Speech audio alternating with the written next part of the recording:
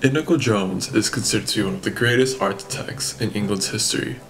In 1573 in London, Inigo was born into a Catholic family.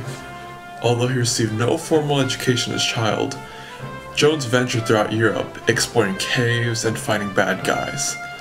No, just kidding. When Inigo traveled throughout Europe, he was able to gain knowledge and insight about architecture.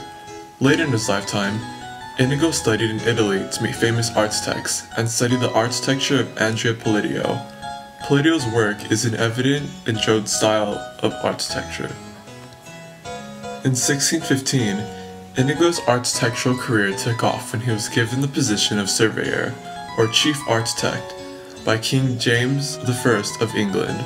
Inigo would hold this title until the reign of King Charles I, when the English Civil War broke out, disrupting court life. Under the position of chief architect, Inigo's major works were built, one of them being the Queen's House.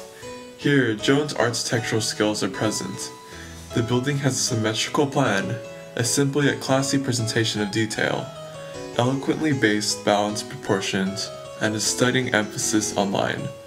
All these are elements that are reflected in the Italian Renaissance. Inigo Jones' most famous building is the Banqueting House in London, the building was intended to serve as a setting for government activities. The banqueting house itself reflects many Italian classical elements. The building consists of two stories, elegantly unified in an organized pattern. Made up of light rustic stone and intricately carved embellishments, Inigo's artistic style is truly remarkable. Inside the building is a simple design, however, the ceiling contains rich and vivid paintings by Peter Rubens. Altogether, the sight of the banqueting house is an amazing experience to behold.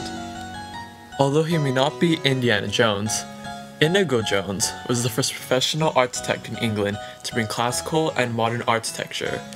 Jones reformed England architecture from its medieval and Gothic styles into the Italian Renaissance mainstream. Although only 8 of his 46 works are still existent, Inigo Jones's architecture continues to astound anyone who observes his work.